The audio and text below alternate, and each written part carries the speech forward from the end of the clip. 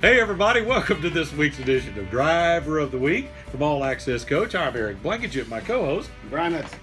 And this week's uh, Driver of the Week brought to you by Febreze. Break out the Febreze and breathe happy. Make Uh, all your rooms smell fresh. Oh yeah, there you go. And our Driver of the Week this week is Randy Rickel, the world famous Randy Rickel.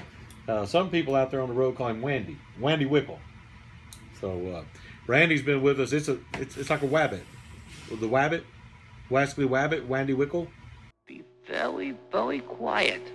I'm hunting wabbits. let's see. Randy's been with us since 2008.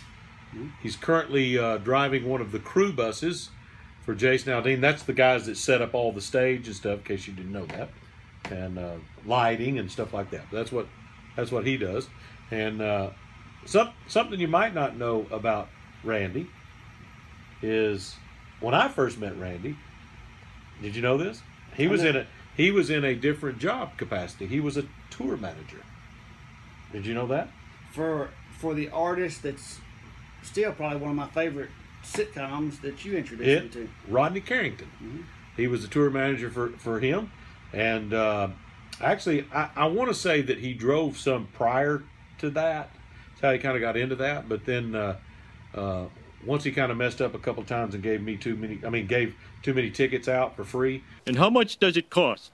Um, it's free. Uh, he lost his job and uh, said, "Man, can you help me out with the with the driving gig?" And I felt bad. For You felt him. me felt you felt obligated. I felt real bad. Well, he's a Portland boy too. Did you know that? He is. He, uh, I think he, I want to say he graduated high school there.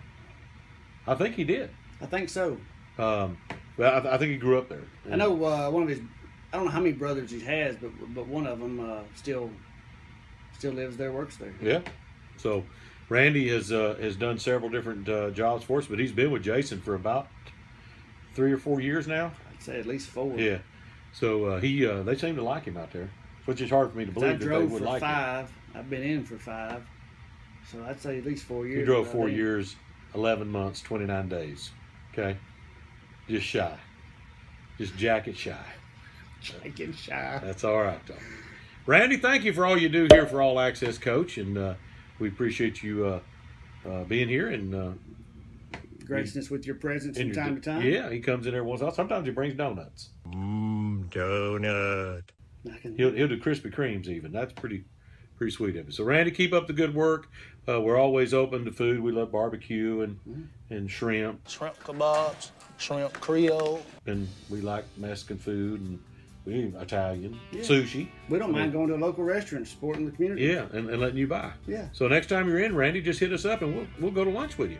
How about that? Thank y'all for joining us for this week's Driver of the Week. We'll see you next week for another edition. See you, Brian.